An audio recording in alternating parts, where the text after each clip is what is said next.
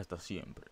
La Asociación Nacional de Intérpretes comunicó este miércoles el sensible fallecimiento del actor de teatro y televisión Rodrigo Ruiz, quien además tuvo una importante carrera como jefe de reparto de grandes producciones televisivas como la nueva versión de Cuna de Lobos e Imperio de Mentiras. En esta última telenovela que protagonizó Angelique Boyer y que transmitió Univisión en horario estelar, Ruiz, quien luchaba contra el cáncer, realizó su participación especial compartiendo escena con Leticia Calderón.